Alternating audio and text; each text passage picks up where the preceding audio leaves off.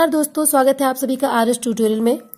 ये हमारे class fourth के ईवीएस के एनसीईआरटी नोट्स का लास्ट पार्ट पार्ट सिक्स है, जिसमें हम अंतिम के पाँचों पार्ट को, पाँचों चैप्टर्स को इंक्लूड करेंगे चैप्टर ट्वेंटी थर्ड से लेकर ट्वेंटी सेवेंथ तक। अगर आपने हमारे चैनल को सब्सक्राइब नहीं किया है तो जल्दी से जल्दी से सब्सक्राइब कर ले। और आपको जो भी वीडियोस इंग्लिश पैडागोजी ईवीएस या फिर जो साइकोलॉजी होती है, उससे देखना है, वो आप हमारे प्लेलिस्ट में जाके बहुत सारे वीडियोस का लाभ उठा सकते हैं। तो शुरू करते हैं chapter twenty third Pochampally. Pochampally Andhra Pradesh में स्थित है, जहाँ बुनाई का काम होता है, यानी कि बहुत सारे बुनकर परिवार वहाँ पे रहते हैं। पोचमपल्ली आंध्र प्रदेश का एक स्थान है। बुनकर शहर से धागे की लड़ियाँ लाते हैं, जिनको पानी में उबाल कर उसकी गंदगी और उसके दाग को धोए जाते हैं। फिर धागों को रंगा जाता है। अलग अलग कलर्स में रंगा जाता है, जिसकी आवश्यकता होती है, और सुखाकर उसकी गट्ठी बना दी जाती है, और फिर इन्हीं गट्ठी को करघे में लपेट कर बुनाई का काम शुरू किया जाता है।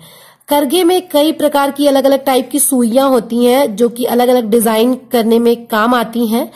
पोचमपल्ली साड़ियाँ दुनिया भर में बहुत ही प्रसिद्ध है। इसमें बहुत मेहनत लगता है, इसी वजह से थोड़ा पोचमपल्ली साड़ियाँ थोड़ी महँगी आती हैं और बुनकर भाइयों को थोड़ा दिक्कत होता है क्योंकि वो साड़ियाँ कम बिक पाती हैं। लेकिन क्योंकि उसमें बहुत सारा समय उनका लगा होता है, इस वजह से वो थोड़ी महँगी हो जाती हैं। अगला चैप्टर है, चैप्टर ट्वेंटी फोर, चौबीस, दूर देश की बात। इसमें अबू धाबी की बात की गई है। अबू धाबी से भारत आने में हवाई जहाज़ से दो घंटे का समय लगता है। चिटपन, यानी कि पिता का छोटा भाई, यानी कि चाचा और कुंजमा, चाची, जिनको मलयालम में कुंजमा को चाची और चिटपन को पिताजी कहा जाता है। सॉरी चाचा कहा जाता है, चिटपन चाचा, कुंजमा चाची। ये दोनों लोग जो है, एक बच्चा है, उसकी चाचा चाची अबू धाबी से भारत आते हैं और हवाई जहाज़ से आते हैं, उनको दो घंटे का समय लगता है। फिर वो बच्चा जो है, सोचता है कि चेन्नई से कोच्चि ट्रेन से जाने में तो बारह घंटा लगता है। ये भी गौर करने की बात है, चेन्नई से कोच्चि ट्रेन से जाने में बारह घंटे लगते हैं। हवाई जहाज़ बादलों के ऊपर उड़ता है। इसी चैप्टर में बताया गया है कि हवाई जहाज़ बादलों के ऊपर उड़ता है। अबुधाबी में बहुत सारे रेत के टीले हैं, यानी कि बहुत सारी रेत जहाँ पे एक साथ इकट्ठा हो जाती है, उसको रेत का टीला कहा जाता है। मतलब रेगिस्तानी एरिया है पूरा। लेकिन केरला में वो लोग अबुधाबी से केरल आए रहते हैं तो केरला में बहुत हरियाली है, पानी वगैरह की भी कोई कमी नहीं है। अबू धाबी में जल की बहुत कमी है। वहाँ पेट्रोल आसानी से मिलता है, पेट्रोल पानी से सस्ता मिलता है। वहाँ पे पेट्रोल का एक बहुत बड़ा मतलब वो माना जाता है, उत्पादक माना जाता है अबू धाबी तो वहाँ पे पेट्रोल आसानी से उपलब्ध है, लेकिन जल की बहुत कमी है वहाँ पे।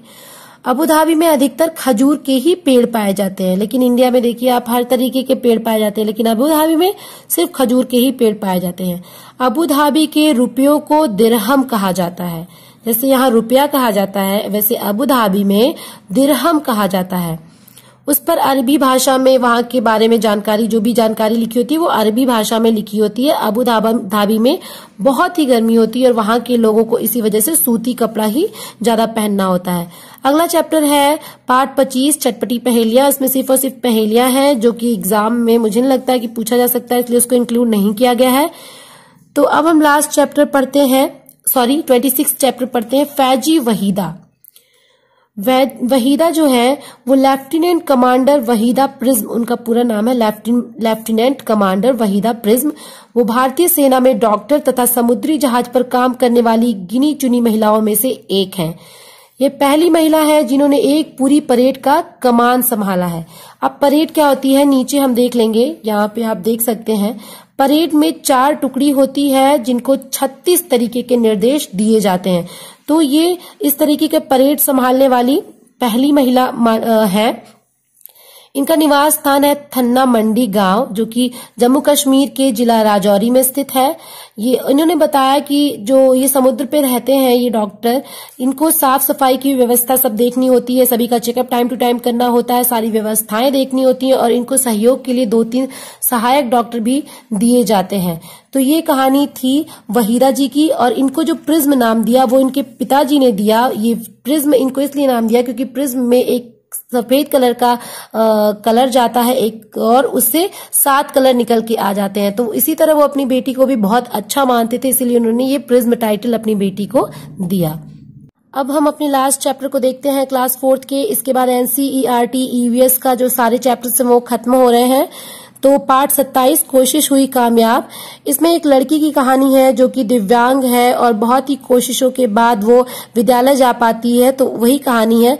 तो इसमें जो एग्ज़ाम के पॉइंट ऑफ़ व्यू से इम्पोर्टेंट है, वो इतना ही है कि स्किटपो पुल वो लद्दाख में पाया जाता है। स्किटपो पुल लद्दाख में पाया जाता है। अगर आप हमारे चैप्टर क्लास फिफ्थ के भी नोट्स देखना चाहते हैं तो आप प्लेलिस्ट में ज़रूर जाएँ और उसके लिंक मैं डिस्क्रिप्शन बॉक्स में भी दे दूँगी हमारे वीडियोस को देखने के लिए। Thank you thank you so much share करना ना भूलें लाइक करना भी ना भूलें।